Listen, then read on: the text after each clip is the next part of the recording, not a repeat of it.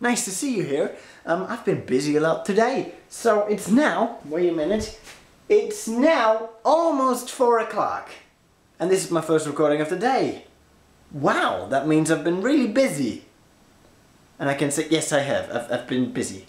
Busy, busy, busy. Also, with the TV show I'm making, you know, it kind of makes my schedule busy. Oh my god! Oh.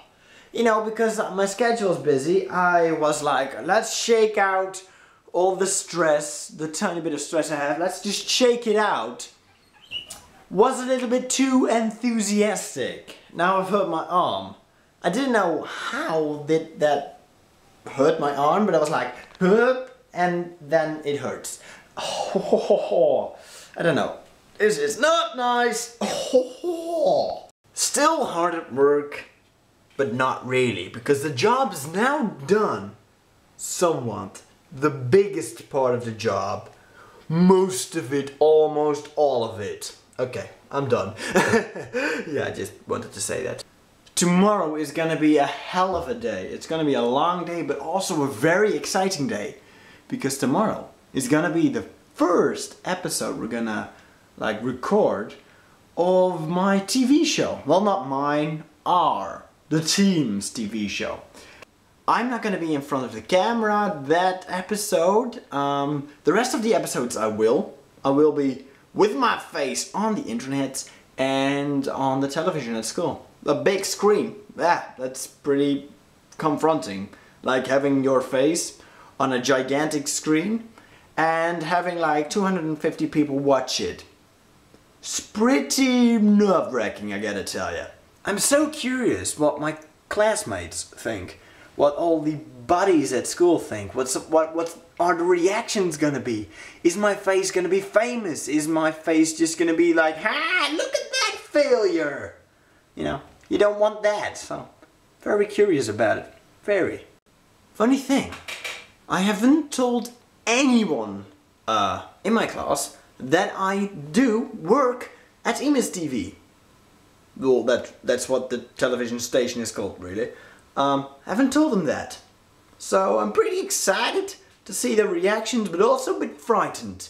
Because some people have heard about the project and have given their negative opinion about it.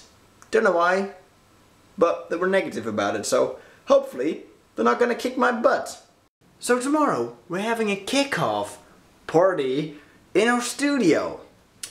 Um, everybody had to bring their own champagne glass. Got it right here. It's a cheap one just because I it might break. Because I've got to transport it in my backpack filled with heavy books and heavy laptops. Yeah. How am I gonna protect this thing? Let alone transport it in a way that it might not break. God, this is a real life challenge. Thank God I've got bubble paper wrap. I don't know. Bubble wrap, right? Bubble wrap.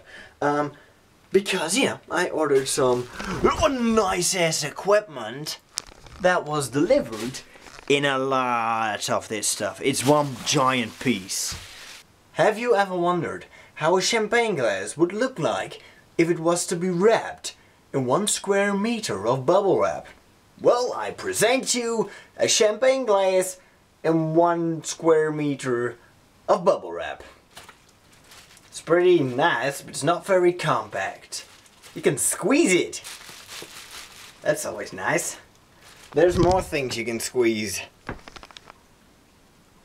that was just too cheesy. But, what's up, boobs? You just chilling? I understand.